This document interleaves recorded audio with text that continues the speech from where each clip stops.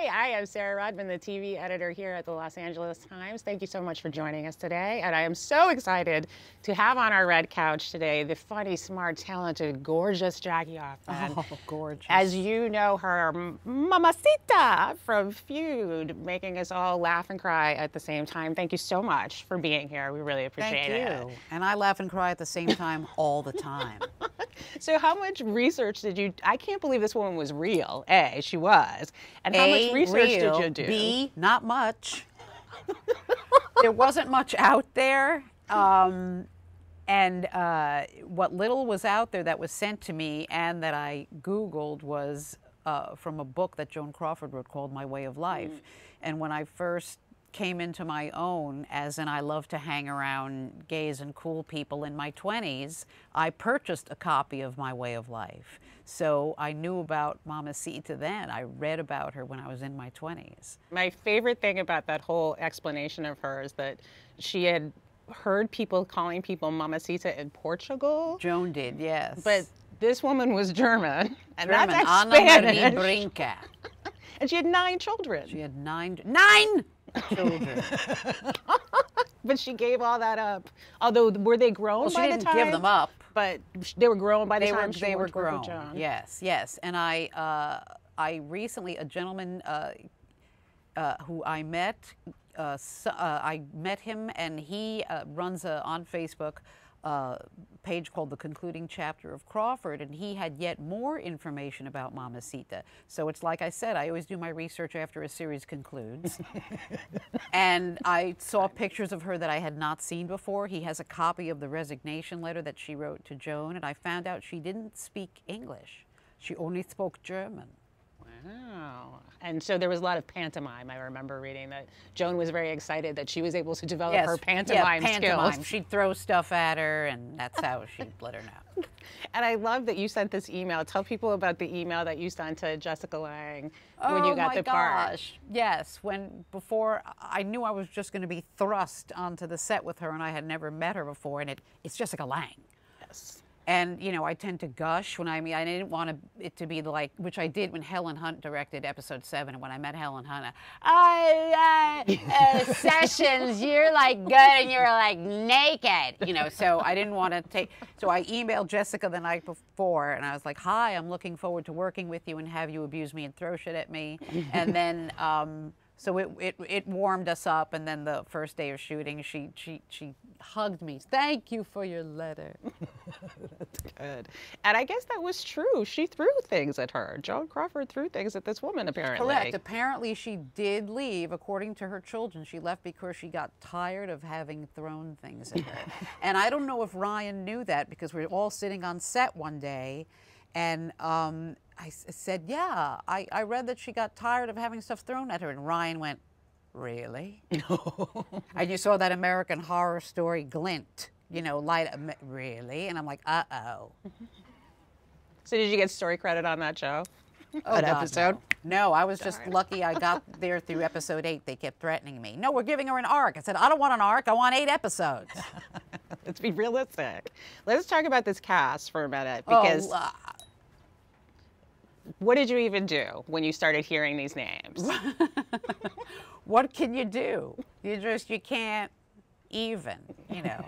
Huge star, huge star, huge star, huge star. Me. on your way to being a huge star. Amazing credits, and people also know you from Difficult People and from Gilmore Girls, which must have been super fun to be a part of. That was fun. And they gave me a lip gloss. um, yeah, no, it was ridiculous. I, I couldn't believe it. And I couldn't I couldn't take people's accomplishments too seriously. I'm like, don't think of these people as, you know, don't Frances don't like, you know, I know I can't, I couldn't. I, I I couldn't because then I would I'd be so intimidated I wouldn't be able to do anything. So it had to be like, all right, we're colleagues. we're all plying our craft. We're all totally the same. Yeah, and then of course I had those moments. Okay, and Francis, like when you are obsessed. right? You got your Chris Farley on. Um, but you know, it's interesting. Maybe the character itself, the way that she was so stoic, was helpful in that regard. That you could just say you were staying in character when you Yes, were it was. And people, who are familiar with my work are like, surprising, Jackie. Everybody keep so reserved. So quiet. So quiet. Yeah. But I mean, so that is not over the top. So not Thanks. loud. but I mean, it is interesting as an acting challenge. You are limited in your facial expressions, in the in your vocal inflection, and so does it then become all about intention in getting stuff across? Because you really did were able to express a wide range of feelings to the audience Thank you. without having a wide range of options to you in terms of physicality. Yeah, I mean, it was about great writing and great directing and and great wardrobe and wig and glasses and German. It just it all helped. each little piece stacks up. Yeah, It- it- I thought it was really impressive though because while everyone else around you was sort of while everyone is around you is losing their Right, heads, there are you. She's the, being the still. Bavarian ballast, if you will. So did you ever have sort of an itch to be like, come Yeah, on out? Of course, there were moments where I would break out in a take, and they're like, uh, mm, you know, like when I when I leave her, um, when in episode seven when she's in the hospital, and I walk out on her, and I'm like, you know, I told you you throw this one more time, you know, and Helen Hunt's like, no. Oh, you never let me have fun. Right, exactly. But yeah, but I was amazed and delighted and surprised at the range of stuff that I got that I got to do. And so, since this was limited, and that is an appeal for a lot of actors that you're only going to be working for a certain amount Not of me. time, that you're not. well, for some actors. But I mean, was this a character that you wanted to keep exploring? Could we see a Mamacita spinoff, like her um, backstory? Mama you're so much younger than she actually was. was. Like we could Look learn your Esther whole backstory. She was the maid. I don't know if your viewers might be too young to remember. right, exactly. So she was whose maid was she? Was Maude's she Maude's maid. maid? She Good was- for you, Right, she was Maude's maid, and then She she went to maid, right? And then she got a temporary layoffs. Good time. But then it was not as much fun as Maude was. I mean, Esther Rolle, I mean, she got her own show, but it was really depressing. I know. Well, they Funny lived in the still. projects, yeah. Yeah, but they did have that that zippy uh, theme song. And I'm talking about like your opening credits. There was so much art to the show in the opening credits and the production design. Those and- opening credits, and you know, aside from my name being in them, but artfully, the whole thing was done with such taste and such elegance. Mm-hmm. And I like, I'm telling everybody, I, I, I licked every object on that set. I had a everything. Did you steal anything? Did I, mean, not steal- steal is a strong word. Did you take a memento? I lift anything? Remarkably, no, I did not, which was tough. But they uh, they let me keep. I requested my glasses, and it went up the chain, and they let me keep my Mamacita glasses. Oh, that's good. They were very distinctive. Now, you have worked with Ryan previously in The New Normal and now on this, and we know that he likes to work with the same people frequently. So, is there hope that you are in a future feud, American Horror Story? what could I say? Let's hope so, All right. Ryan. Are you listening? All right, that is something that we would like to see. And I want to talk um, a little bit about many of the other things that you've done. I know that difficult people is uh, is warm in the hearts of many people, and I feel like that's probably more your sensibility personally. yes, that's. I mean, Julie. I think, and with the aid of a friend of mine, Jody. I mean, they know me, and they write. They write. It's really written for me. You know. Angry, shrewish, Jewish, foul-mouthed, bitter. I don't know where they got those qualities, but that, that's that's what she is. And is that basically what it says on your headshot? Like these Angry. uh, yeah, the picture says that. and I want to talk about too, because I just watched it right before this. Old Lady Gaga. Oh God, really? So you have done this version of Alejandro. What was the inspiration for that? and if you haven't seen it, go to YouTube and look for got like Old I think Lady Gaga. million views. The only thing I've ever done that's gone viral. Um, so funny. It's it was a, the brainchild of a very talented young young man named Jake Wilson, and he he said, "You have you heard of this?" Uh, Lady Gaga Alejandro, I have an idea for old Lady Gaga. And I happened to be in the Addams Family at that time playing grandma. So I happened to have the Ben Nye makeup old lady kit. So it was just I had the wig. It was perfect, and I and he said he was going to dub the vocal and use old Lady Gaga uh, and use Lady Gaga's vocal. I'm like, oh no, not when you're working with Jackie Hoffman. I'm doing the vocal.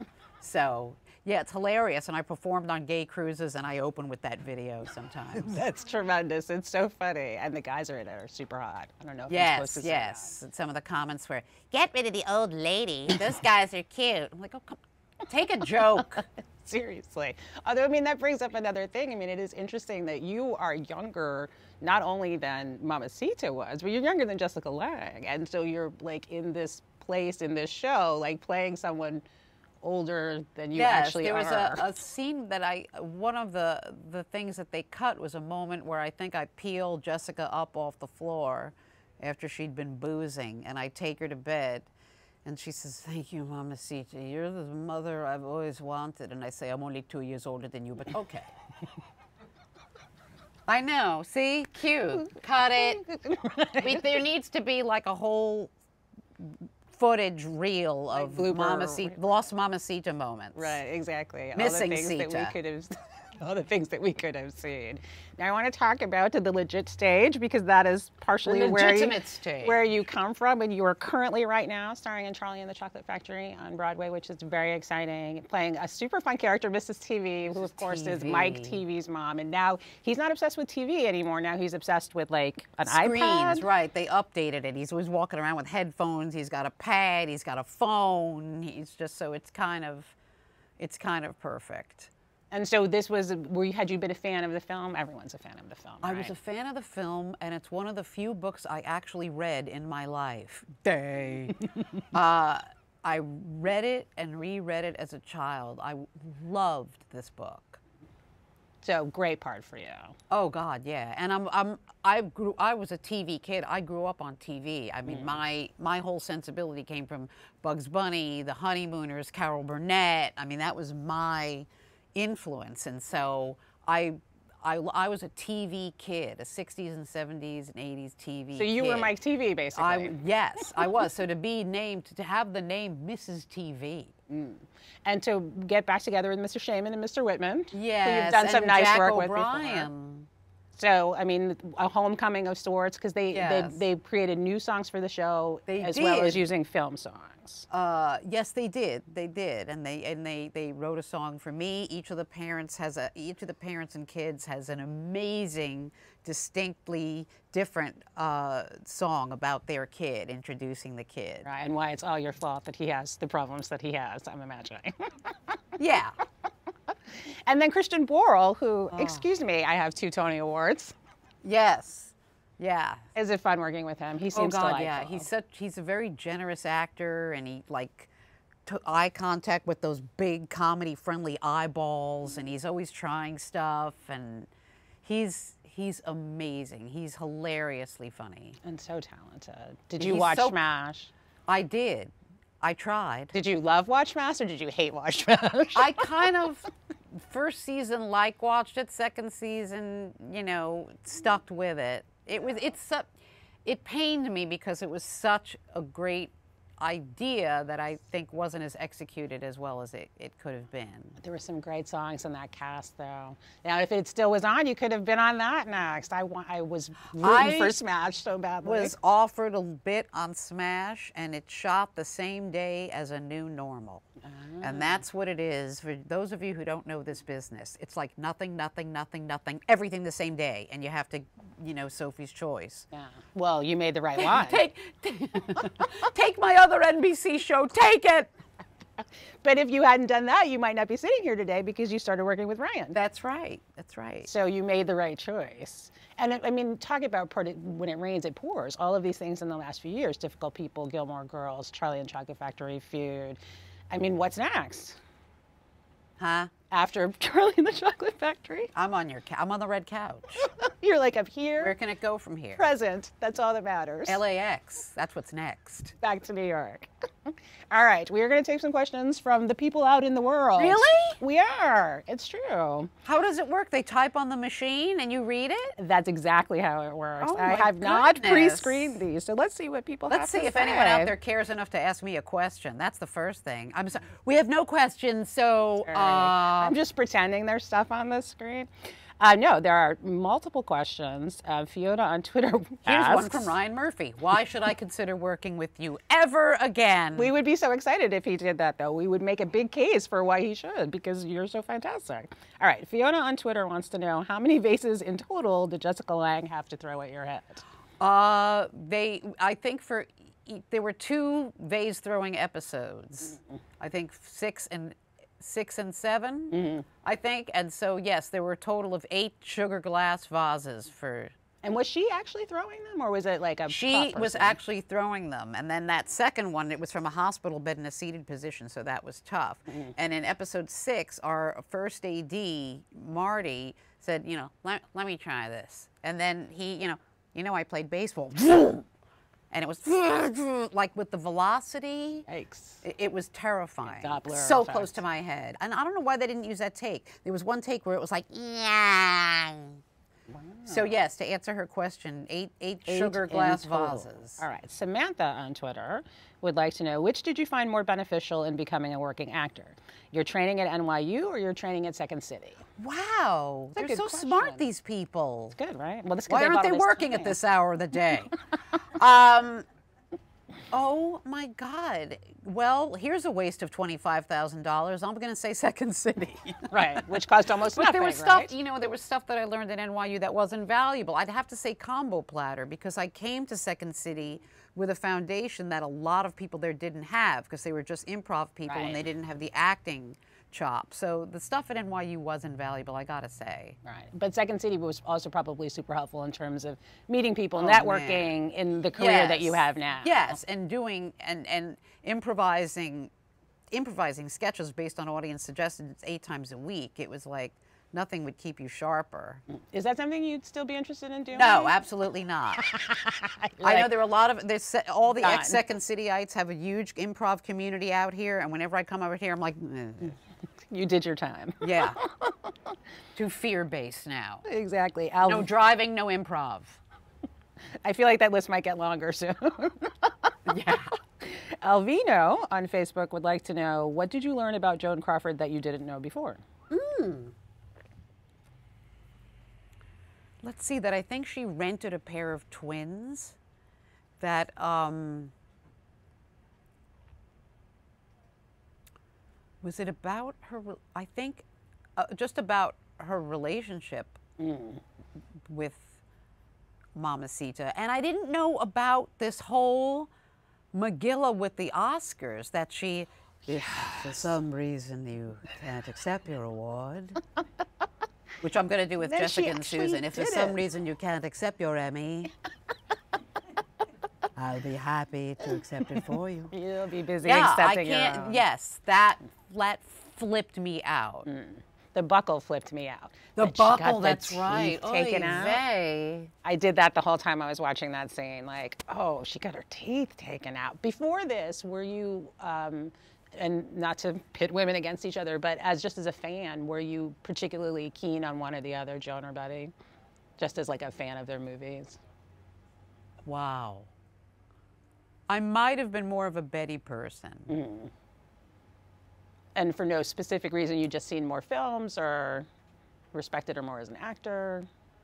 Probably, probably the the quality of her films. I mean, All About Eve is is just one of my favorite films ever. So. Gold standard. So good.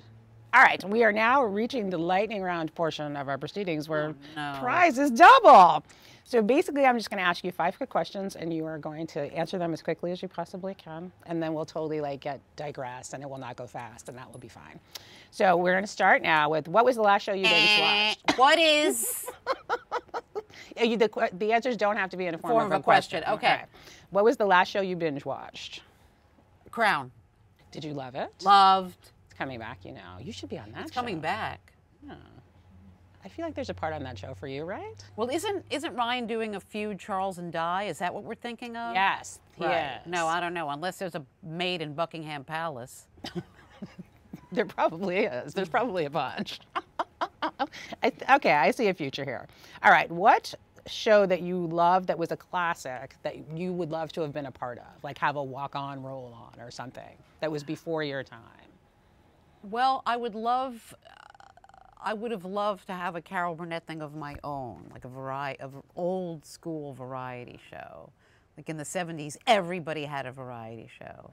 The Jackie Hoffman show has a good ring to it. Uh, yeah.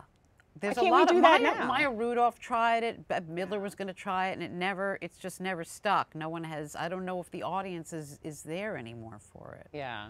I think Neil Patrick Harris even tried it too. That's right. of, Yes. With a very lively, and they were all very lively shows. But yeah, maybe the world is just not in the same place with accepting that stuff anymore. What show do you love that you would want to watch again with somebody else to see them reacting to it, Wow. To see it through their eyes? That I want to see them reacting to it. Yeah. I'm too self-involved. I don't care about other people's reactions to anything unless they're reacting to me. That's it. All right. Uh, what was your first acting job, and what did you learn from that that you're still using? My first acting job was playing Plain Jane Wayne, the terror of the plains, in Shootout at the Trailblazer Saloon at Hershey Park. That's Hershey, Pennsylvania, six shows a day. Bang, bang. Uh, what did I learn from it? Don't do six shows a day. But you probably learned things about stamina. I did. I was in my 20s, so. So you had it anyway. Yeah. All right, I finally, ate too many Kit Kats. Walter White or Tony Soprano? I don't even know who the hell Walter White is. Breaking Bad. Huh? Breaking Bad. Oh, God. Yeah. Well, then, then, then the drug addict. Excellent. And finally, this is a trick question that I just came up with. Can you stop the beat? Aww. And what's the answer to that? I, the producers stopped the beat five years after it opened, so Well. I guess you can. All right. I was so I thought you were going to start singing You Can't Stop the Beat. No, you're right. you wanted this irrepressible optimism. You're interviewing the wrong gal. Excellent point. But I'm so glad I interviewed the right gal. Thank you so much Thank for being here. you. Really pleasure. appreciate it. And thank you all for joining us. And stay tuned for more chats to come.